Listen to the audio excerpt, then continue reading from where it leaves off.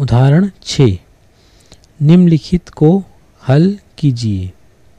पहला, वर्गमूल तीन गुणा वर्गमूल पाँच। हमारे पास वर्गमूल तीन को गुणा करना है वर्गमूल पाँच से। तो वर्गमूल तीन गुणित वर्गमूल पाँच के लिए सबसे पहले हम इन दोनों संख्या को को वर्गमूल में गुणा करेंगे। तो यहाँ पे तीन गुणित पाँच, जिसे हमने वर्गमूल चिन्ह के अंदर लिखा, बराबर वर्गमूल तीन पंचे पंद्रह। तो यहाँ वर्गमूल तीन गुणित वर्गमूल पाँच, क्योंकि ये दोनों वर्गमूल है तो वर्गमूल का गुणा करने के लिए हम वर्गमूल के चिन्ह के अंदर में दोनों संख्याओं का गुणा करेंगे, तीन गुणित पाँच। बराबर वर्गमूल पंद्रह। यह इस उदाहरण का हल होगा। दो। दो वर्गमूल तीन गुणा सात वर्गमूल दो। हमें दो वर्गमूल तीन गुणित सात वर्गमूल दो का गुणा ज्ञात करना है। इसके पहले, सबसे पहले हम गुणा करने के लिए दो और सात का आपस में गुणा करेंगे और वर्गमूल संख्या जो है, वर्गमूल तीन को वर्गमूल दो से गुणा करेंगे। इसके लिए हमने दो और सात को एक कोष्टक में गुणा करने के लिए लिखा। गुणित, फिर वर्गमूल की जो संख्या है, वर्गमूल तीन और वर्गमूल दो को एक कोष्टक में लिखा। बराबर, दो सत्य चौदह, गुणित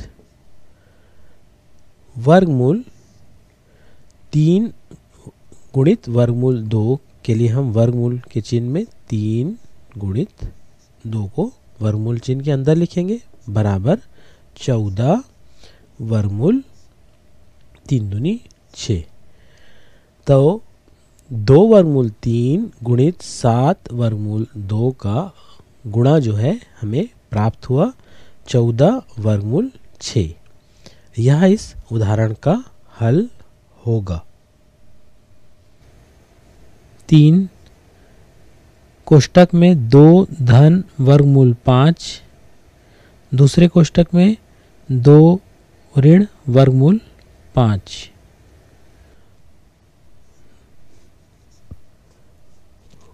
दो धन वर्गमूल पाँच।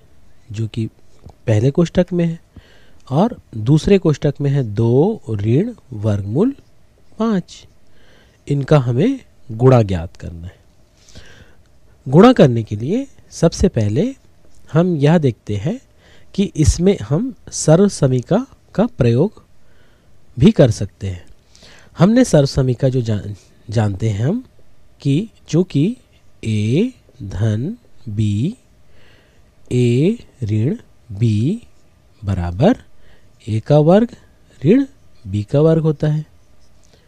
अब यहाँ पे हम दो को ए मानेंगे, धन बी जो है हमारे पास वर्गमूल पाँच ये पहला कोष्टक।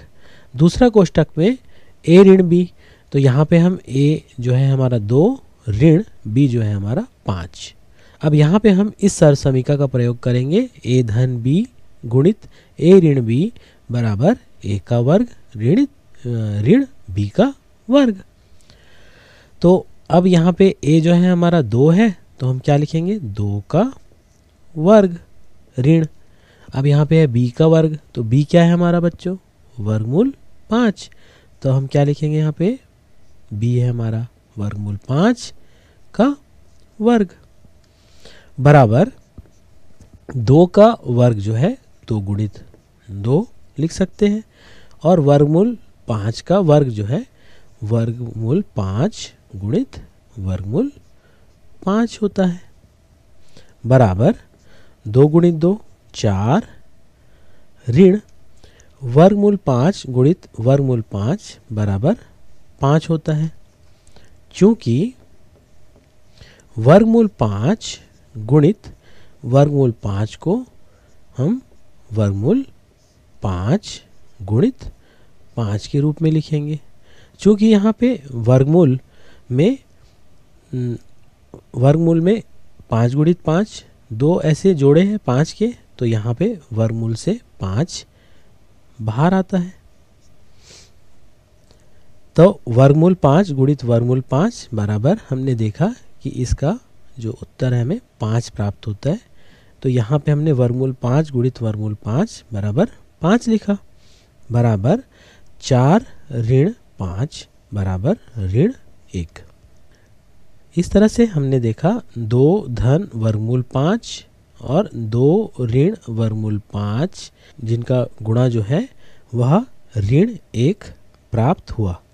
यह इस उदाहरण का हल होगा। चार कोष्टक में वर्गमूल सात, धन वर्गमूल तीन, दूसरे कोष्टक में वर्गमूल दो, धन वर्गमूल पाँच। हमें गुणा करना है वर्गमूल सात, धन वर्गमूल तीन, जो कि पहले कोष्टक में है। इसका गुणा जो है हमें वर्गमूल दो, धन वर्गमूल पाँच से, ये कोष्टक के दोनों संख्या जो है, इसे आपस में गुणा करना है। तो यहाँ किसी भी प्रकार की कोई सर समीका हमारे नहीं लग रही है। इसके लिए जो है, हम सबसे पहले क्या करते हैं? कोष्टक की का पहला पद है हमारे पास वर्मूल सात। अब हम वर्गमूल सात जो कि पहला पद है, उसे पहले लिखेंगे और दूसरा कोष्टक वर्गमूल दो, धन वर्गमूल पाँच, इसे हम इसके वर्गमूल सात के सामने पे लगाएँगे, इसको गुणा करेंगे, फिर धन वर्गमूल तीन का गुणा, फिर से दूसरे कोष्टक के संख्याओं से गुणा होगा। तो हमने दूसरा कोष्टक वर्गमूल दो, धन वर्गमूल पाँच को लिखा। तो वर्गमूल सात, धन वर्गमूल तीन का गुणा वर्गमूल दो, धन वर्गमूल पाँच से गुणा करने के लिए हमने क्या किया बच्चों? पहला पद है हमारा वर्गमूल सात, जिसको हमने लिखा, उसके बाद दूसरे कोष्टक को हमने सामने पे लिखा, क्योंकि हम इससे गुणा करेंगे। फिर वर्गमूल तीन को पुनः दूसरे कोष्टक से गुणा करने के लिए धन वर्गमूल तीन को लिखा और दूसरा कोष्टक इसके सामने रखा। अब जब हम कोष्टक को खोलेंगे तो हमें क्या प्राप्त होगा? वर्गमूल सात गुणित वर्गमूल दो। धन वर्गमूल सात गुणित दो हुआ वर्गमूल सात गुणित वर्गमूल दो, धन वर्गमूल सात को फिर से वर्गमूल पाँच से गुणा करेंगे तो वर्गमूल सात गुणित वर्गमूल पाँच।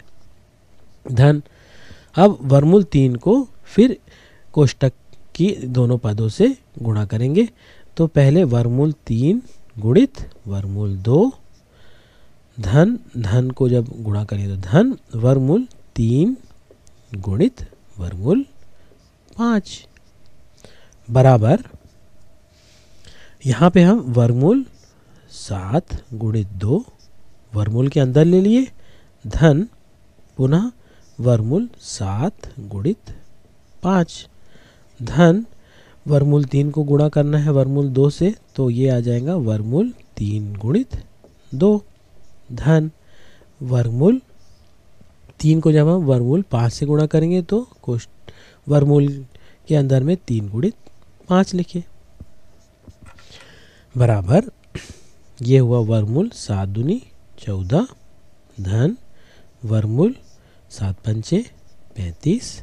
धन, वर्मूल, तीन दुनी छ धन, वर्मूल, तीन पंचे, पंद्रह।